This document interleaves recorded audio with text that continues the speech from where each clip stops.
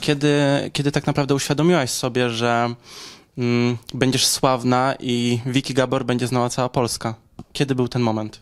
Nie wiem, czy cała Polska. Ym, nie wiem. Już nie bądź taka skromna. Na, serio, jakby ym, ja myślę, że do tej pory sobie trochę nie zdaję z tego sprawy. Ja po prostu jakby tworzę muzykę i nie chcę być typu, nie wiem, gwiazda, Wiki Gabor. To nie jest dla mnie priorytet. Jakby chcę być po prostu artystką, która tworzy muzykę i nic poza tym. Typu nie chcę być influencerką, nie chcę być, nie wiem, a TV pop star.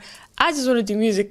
I to jest, em, no ja się po prostu na tym skupiam. Typu ja tworzę muzykę, dla mnie jest super to, że mogę koncertować i że mogę jakby rosnąć w tym wszystkim, więc em, nie wiem, no jakby mm, działam i działam. Nie, nie skupiam się na tym.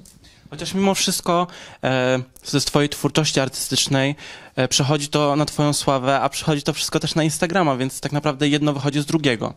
Myślę, że tak, ale z drugiej strony nie wiem. Fajne jest to, że w ogóle takie rzeczy jak typu Instagram czy TikTok jakby istnieją, bo mogę się. em, nie wiem, mogę utrzymywać taki kontakt z moimi fanami.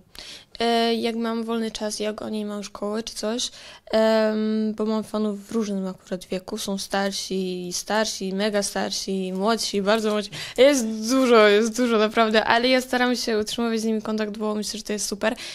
I ja też. Mam taki trochę inny, inne podejście do, w sensie do moich fanów. Ja ich y, traktuję jako znajomych.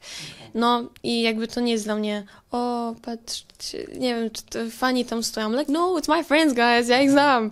I przeważnie widzę jakby te same buzie, więc to jest też super, że ym, ostatnio byłam na koncercie i przyszło jakby grupkę dziewczyn, które już spotkałam. I'm like, oh my god, to wy, hi! I zawsze z nimi rozmawiam i to jest fajne, że ym, Myślę, że przez to, że tak dużo mówię o tym, jak na przykład w wywiadach, że nie traktuję ich fanów, oni też mają takie fajne, też trochę takie inne podejście, że się tak nie stresują, podchodzą do mnie normalnie o zdjęcie i ja to naprawdę szanuję, bo jakby też jestem normalną osobą i takie podejście jest takie miłe, w sensie ja też mam takie coś, że się stresuję, jak mam poznawać nowych ludzi i myślę, że y, oni chyba po prostu o tym nie wiedzą. Myślę, że, myślę, że jestem tak otwarta i w ogóle w sensie, ja jestem otwarta, jakby nie jestem niemiła, i, i, bo jestem miła, jakby staram się, ale e, mam tak, że ja się po prostu boję poznawać, ja się, ja się boję po prostu tego, więc jak podchodzą do mnie i tak normalnie jakby zaczynają ze mną konwersację, to i mi się tak robi miło od razu, oh my god, że wreszcie ktoś normalnie do mnie podszedł i normalnie do mnie rozmawia, w sensie tak,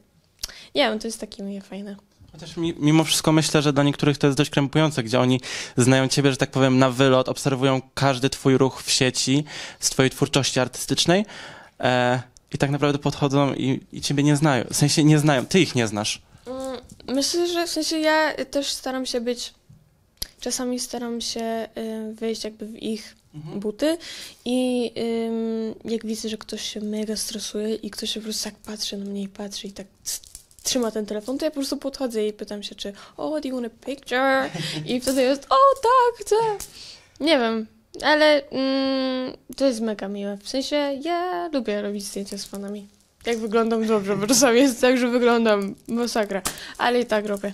To nic, ja sobie jestem człowiekiem, czasami gorsze dni.